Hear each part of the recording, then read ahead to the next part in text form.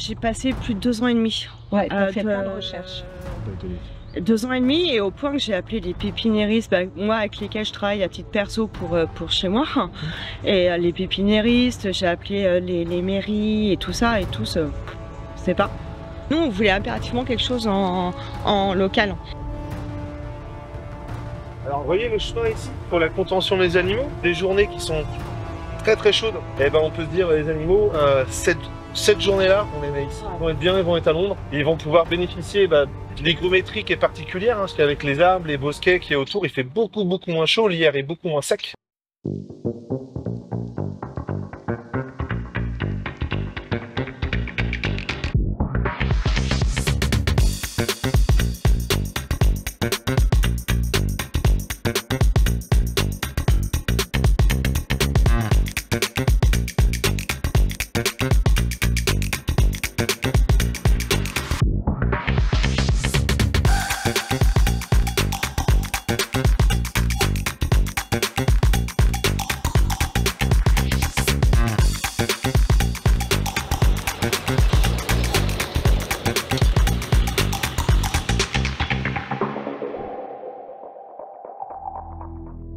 Et donc là, le but, vous allez voir, de l'opération, c'est de ramener la terre pour faire un talus qui va être à peu près haut comme ça. D'accord. Ramener la terre de chaque côté.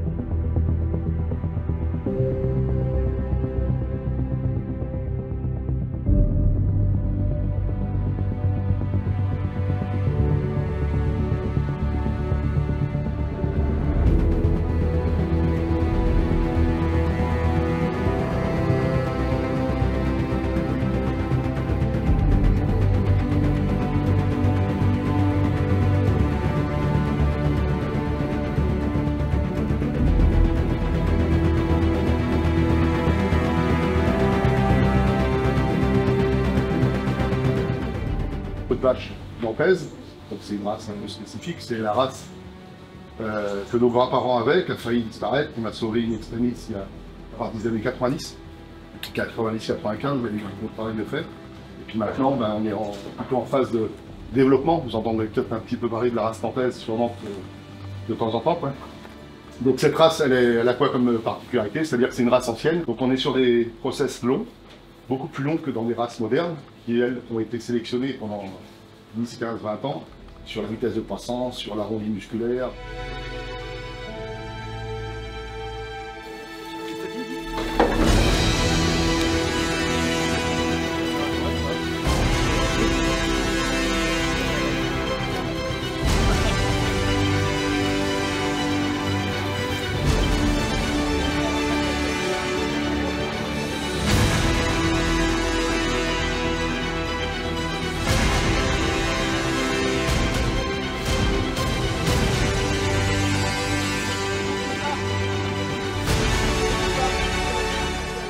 Mettre dans le fond du trou, complètement dans le fond du trou.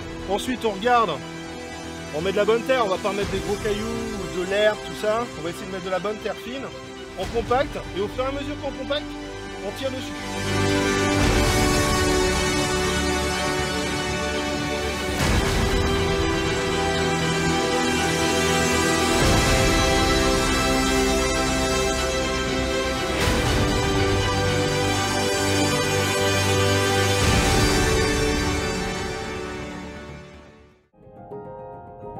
On essaye des choses, mais ça va aller tellement vite qu'on ne fait que essayer.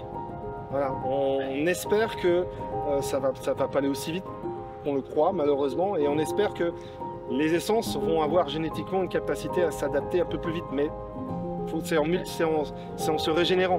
Mais après, ça c'est le climat, mais c'est pas forcément les mêmes terroirs. Imagine que le sol est. pas le même terroir, c'est pas le même climat, c'est pas la même hygrométrie.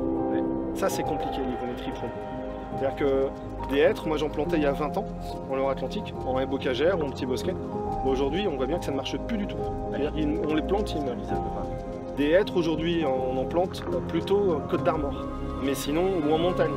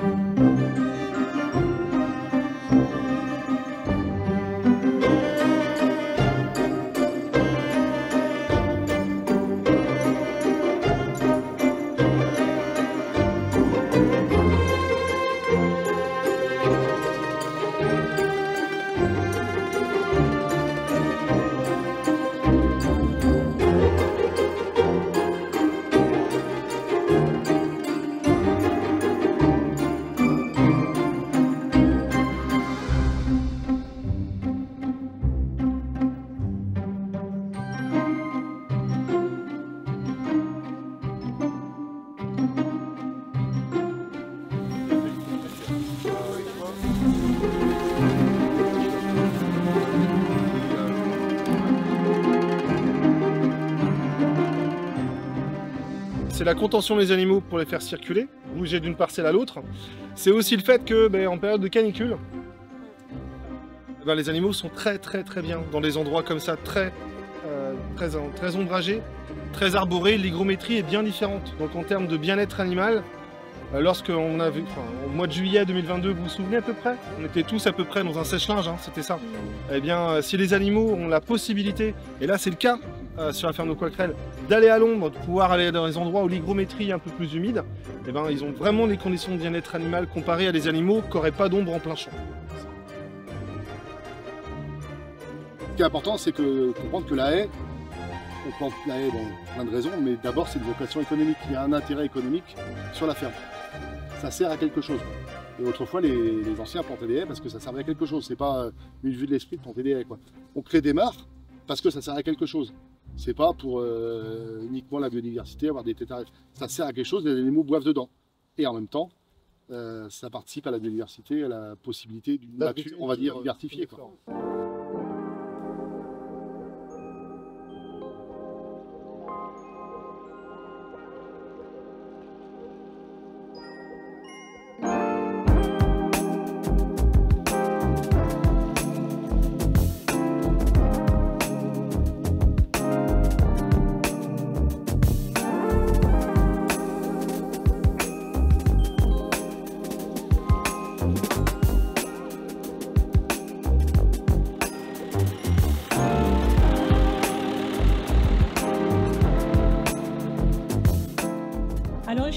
C'était de. On voulait faire une action pour euh, euh, la nature, pour la biodiversité, euh, et on voulait du local. Il n'était pas question d'aller planter un arbre au, Brésil ou à l'autre bout de la planète. Donc on a fait des recherches surtout Sandra, sur euh, toutes les possibilités qu'il y avait. Et on a découvert qu'à la Chambre d'agriculture, il y avait des projets qui étaient menés pour aider les agriculteurs locaux à replanter, reboiser euh, les champs pour les bêtes ou pour les cultures. Les cultures et pour aussi euh, permettre la biodiversité. Euh, bah, de, pouvoir euh, se nourrir, euh, s'héberger, notre guillemets. Et ce qu'on voulait surtout, c'est qu'on voulait des plantations qui sont avec des essences d'arbres qui soient locales, c'est-à-dire qui soient, on va dire, plus prévues par rapport au climat qu'on a ici sur le secteur ligérien, donc en secteur Loire-Atlantique.